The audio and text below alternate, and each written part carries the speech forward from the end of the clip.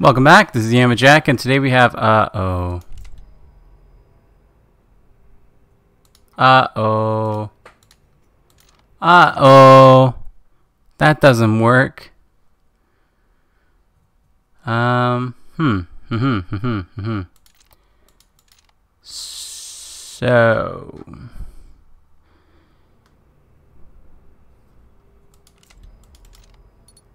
Um. uh, yeah, we'll just, um, try and, uh oh, we'll, we'll just do a little bit of a, of a restart on that. this could be a problem, hey? This video's gotta go live in like three and a half hours. Because I've been irresponsible this week and like a little bit depressed. But most mostly the irresponsible. We'll try it again here and see if see if we can get something happening. A little concerning, a little concerning. Come on, come on. Show me show me my perk. Top right. I want to see my perk. Come on. Come on. Come on. You can do it. I believe in the power. It's not loading. It loaded. We're alive. It's alive. Okay. Welcome back. This is Yamajac. And today we have Gunslinger, Suicidal, Spillway. No achievements. We're not doing objective. We're not doing any collectibles. We're not doing any of that kind of funky stuff today. No, no. Today we're just we're just playing some good old Killing Floor 2 because I have been turned off by the uh, the objective mode and all this kind of stuff lately, and and I just want to uh, play the game in peace and do what I want and not worry about uh, any kinds of uh, any anything else happening. You know, I don't want to worry about um, anything else. And uh, to do that, we are going to be playing regular Suicidal today. I'm not doing any objectives. I'm not doing any achievements. I'm not doing any of that kind of stuff here today, okay? Because honestly, I'm not sure. Not sure I can handle it mentally. That was uh, yeah. I mean, yesterday sucked. Yesterday was was just terrible, honestly. Um, the it was unfun, extremely, and I wouldn't recommend it. So. I have a lot to do today, though. I have a lot of recording to do today, so you know, got got got a lot of work to do, but I'm excited about it because it means that I get to to play some KF2 and just enjoy some some good old mindless fun. No responsibilities, nothing to nothing to worry about. So I've uh, I've finished my Genius Doctor Black Belly Miss. I've uh, I've finished it. I've completed it. It's done. I've read it all. All 3,123 chapters have been read. All of them. Every last one. I barely remember what happened in the earlier chapters. It was so long ago. But it's done. I've read them all. They're, they, they've been read. And uh, what? That is a, a scene to, to, to be sure. The, oh my god. What the heck? Um, I've read them all, okay, and and going through it, it uh, it seemed pretty pretty normal. There was a lot of like this thing happened a thousand years ago, you know, and a lot of backstory and lore and stuff that was kind of being revealed throughout the throughout the um, uh, series. So so uh, I, I the, basically the way that works, there are like a billion husks down here, by the way. Like, oh my god. Uh, the way that it works is uh, you have your you have your main character who is uh, the female lead. Then you have the uh, the male lead, the male romantic interest, who's uh, who I believe there is. Okay, so I have, I have backstory, backstory, proper. Let, let's, let's explain this from the start. So I've read this this uh, novel, this light novel, this web novel, this 3,000 chapter monster, right? And uh, I mean, the funny thing is, in the like uh, Xianxia slash Wuxia kind of uh, stuff, that's not even that uncommon or even that long. It's it's long, but it's it's it's certainly not a uh, it's not a record leader there. You know, it's it's long, but it's a, there's longer stuff. Um, so we just have like a billion husks to take care of, I guess. Uh, so throughout these these chapters that I was reading, I never felt like I was missing stuff, you know. Um, but once I got to the uh, to the end, the last like 30 chapters or so, we're, we're definitely starting to be like, what the heck is happening here? Like, what's going on? Like, most of the stuff was pretty well explained, and even towards the end, they were they were explaining it fairly well that I could I could understand what's happening. But it was kind of like out of left park that uh, that a lot of this stuff was happening towards the end, and then I was like, huh? And uh, it turns out that there is a prequel to this, or rather that the, the Genius Doctor Black Belly, Be Black Belly Miss is in itself a sequel uh, to another like 2700 chapter long monster. And I'm just, I look at it and I think to myself like, do I, do I read it? You know, do I, do I commit to this? I've, I've finally found myself freed of the Genius Dr. Black Belly Miss. Do I go for reading this other thing? And uh, there's there's two other uh, novels also set in the same timeline or in the same like uh, franchise and uh, like universe and kind of thing, um, which is like another like if I wanted to continue reading stuff happening in this universe, uh, I could continue reading for like another seven or eight thousand chapters. And like these are not very long chapters, they're not super short chapters either. You know what I mean? They're they're they're they're they're reasonably length. Um, it took me. I mean, you guys have kind of seen or heard at least me talk about it since I basically started reading it. It's taken me a while to read through it and like I've been spending almost all of my free time reading it. So I'm just like do I want to continue reading this series? Like there's a few other series that I've kind of been like excited to get into and then uh, this one just hits me with hey there's actually like 7,000 more chapters to go until you're like really truly done you know and I'm, I'm like dude you're a monster for writing that much for one. Um, wow. And two, I'm not sure. You know, I think I think I might just want to wash my hands of this universe and just be like, yeah, we're good. You know, I've uh, I've shed my tears for the story already. I've I've uh, I've been emotionally invested. I've had the roller coasters. I've got this moment of peace after being done with it, and I'm like, I don't know if I uh, if I really want to continue with these same characters anymore, which is, uh, I was talking about it recently, I was kind of like different, how normally I'm like, yeah, I wish, I wish there were more and stuff, and now I'm just like, there's more, do I really want to read it, though, and it's like, so different, but it's kind of, you know, I've, I've been looking forward to the, the release and being able to, to be free of it again and get into a different series, but then the other thing is, is that these other series, I think, are for the most part, kind of also things that I'm interested in. Like they, they follow a similar kind of plot line, and, and, and I mean, they're still, you know, Xianxia, right? So I'm like, you know, okay, I go read something else. It's probably not going to be better or worse than this because it's all kind of trash. Um, so I guess, I guess I continue reading the, uh, I, I stay in with the uh, with the with the universe and continue reading it. I don't know. I'm gonna have to. I'm, I'm probably gonna start reading it and see how I feel. It might be written poorly. It's a sequel, right? Or the the this one was a sequel anyway. Um, it might be that uh, you know their their writing style got better. And the thing is, there were a lot of things about this one that kind of annoyed me.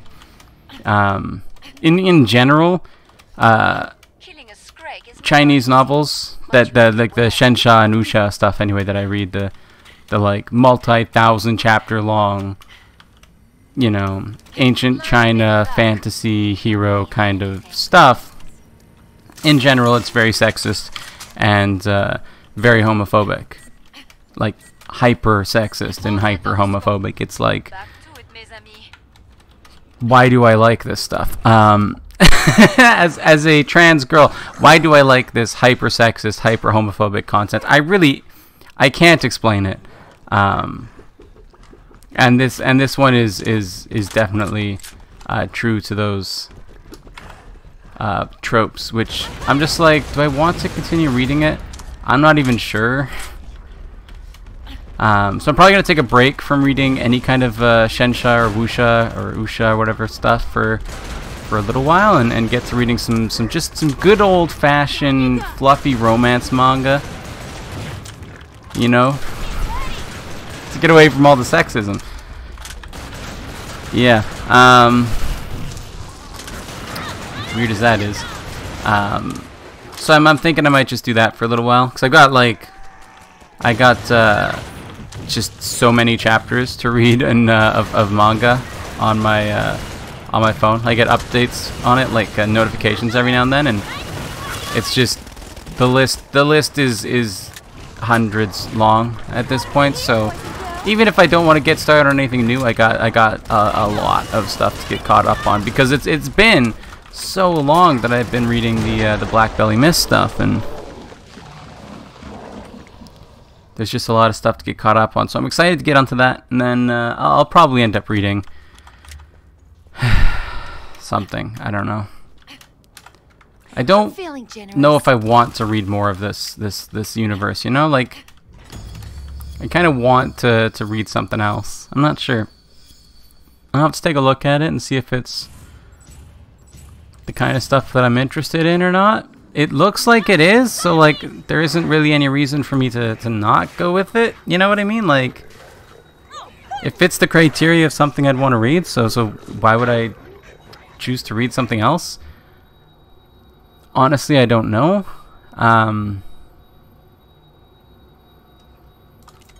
I don't know. I couldn't. I couldn't tell you. You know, I, I couldn't tell you. Um, but it's a, it's a decision I have to make. I know it's, it's, it might be funny to you because like I, I seem to deliberate over this as much as I deliberate over decisions I make on the YouTube channel. Look, it's a big decision. Okay, like what am I gonna read next? This is I mean this is like a, a month long investment. You know? Months long investment even. How's my how's my review of Genius Doctor Black? Am I gonna turn this uh, this YouTube channel into a uh, Wuxia Xianxia kind of review channel? Oh, pff, yeah, you get a video every like three or four months as I actually finish reading something. Um, How's how's my review of it? What's my review of it? Like I said, a little bit sexist, a little bit uh, homophobic, and I mean like a lot of both of those. Um, actually, not so much sexist. Look, okay, uh, just some some backstory here. I mean, within the context of other Shush or Wuxia and Xianxia stuff that I have read, normal amount of sexism, but uh, like quite a lot more uh, uh homophobia for sure but normal amount of sexism. So if you only mind like fairly extreme levels of sexism, then like it'll be pretty good. Um, yeah, it's just yeah. Why do I like this stuff? I don't I don't know. But like it, it's uh every time they go out, it's it's always you know jade beauties everywhere, and it's peerless beauty, and you know her beauty can bring down kingdoms and cities, and I'm like, it's just, she's like, I get it. She's pretty. It's okay. You know, it's it's not. It's like she entered, and all of the other girls now look like Shreks. like, nah, nah, eh,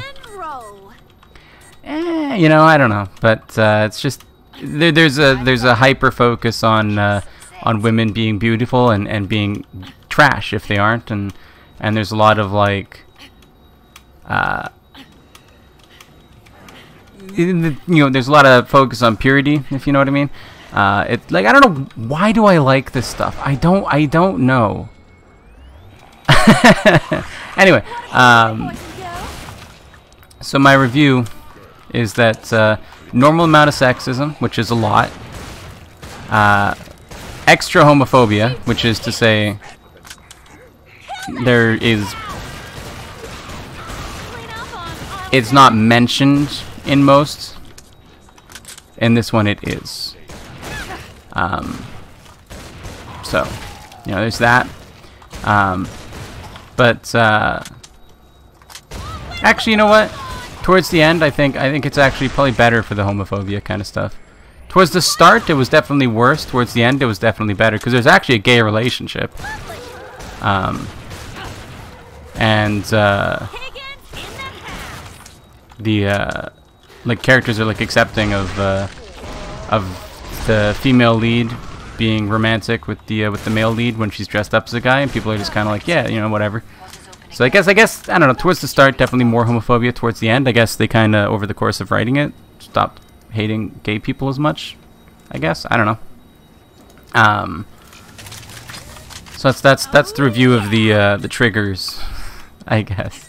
Uh, as for the story, as generic as it gets. Okay, it's the most generic story you're ever gonna see. Uh, the writing is, I mean, writing is something that's kind of hard to talk about when you're when you're reading a translated thing because like a lot of the the nuance gets lost in translation. But um, I think the writing was acceptable. It was it was okay, you know. Fine. I think that they uh, they they they def I cried. Why do I like this stuff so much? I just I don't get it. I really don't. Um, I cried a number of times, especially towards the end. My eyes are actually still a little bit. You know, you got that uh, that feeling of. Um, I cry easily to everything though. We've been over this. Um, my eyes have that uh, sort of like dried out feeling that you get after you uh, after you're crying recently. Um, so that's that's what my eyes are at right now because of uh, the ending, which I cried mostly because it was the ending and cute and stuff and fluffy and and all this, you know. Um, I definitely got. Uh, I was happy at moments. I was mad at moments. It was the the writing was was uh, it had me, which is not much to say. Uh, you know, it, it's not saying much. It it had me emotionally invested in it. Again, I can get emotionally invested in like a caterpillar crossing the road. Um. Let's see. Let's see. Character development. Oh, like not. Eh, it was kind of there. There was some character development, I guess. There, there's some. Yeah, I'll, I'll, I'll give it that. There was there was some some character development. The main character, you know, not just in a, in a strength kind of fashion, but the main character started out as uh, as an autistic girl, and uh, I think it was a fairly decent portrayal of autism. Um, better than I would have expected from from like Xianxia or Wuxia for sure. Um, and uh, you know, she kind of grew as she she developed more emotions as she got more attachments to people and and uh, learned new things and, and grew up as a person. You got to see a lot of that growth, and it, it seems fairly fairly realistic. The um, the supporting characters, um, the male lead was, was fairly well developed over time as well, I think. Um, the other supporting characters were fairly bland. Honestly, like their personalities were basically there to just provide uh, a reference for the uh, the main character's incredible powers. They didn't really have much purpose. Um, I liked them, and there was some character development in them as well, but not not much. Nothing noteworthy. All in all, I think uh, I think I'd give it, you know, for a uh, an Wuxia Xianxia kind of uh, story. I'd, I'd give it like a eh, maybe a seven or an eight out of ten for me. Again, for Wuxia or Xianxia. Just to, to keep that in mind here, as, as, a, as proper literature, probably like a one or a two. Um, you know, if I had to compare it to something like Horimiya even like not not that Horimiya is like proper literature. It's it's manga, but like you know as a as a, as a story as a whatever medium you want. I wouldn't necessarily describe it as uh, revolutionary, innovative. Um, no real unique ideas in it. It, it was it was fairly uh, trope filled and uh, cliche, but uh, yeah, I've, I've, been over before. I don't really uh, personally find uh, issue in tropes and cliches. I, I, personally just don't really mind it. Um, you know, if, if that's what if that's what we get, then that's what we get. You know, I'm able to look at it in a vacuum. I know a lot of people aren't. Um, but anyway, all in all, it was uh, it was an experience that I enjoyed. I think. Probably. I think I enjoyed it. but I'm done now. I'm free. Let me read you the uh, the last message. It's not a spoiler. Oh no, I won't read you the last message. Oh, I'll, I'll read you the second to last sentence. And that shared future will be another story. That's what got me into to looking to see if there was uh, any other thing going on. Because I'm like, ah, maybe there was another something, you know? Um, anyway. enough about enough about my, my guilty pleasure. I had good fun with this. This was good. I liked it. But that's going to do it for today. Thank you for watching. Remember to like the video if you like it. Subscribe to see more in the future. Comment if you have anything to say. And I'll see you next time. Bye-bye.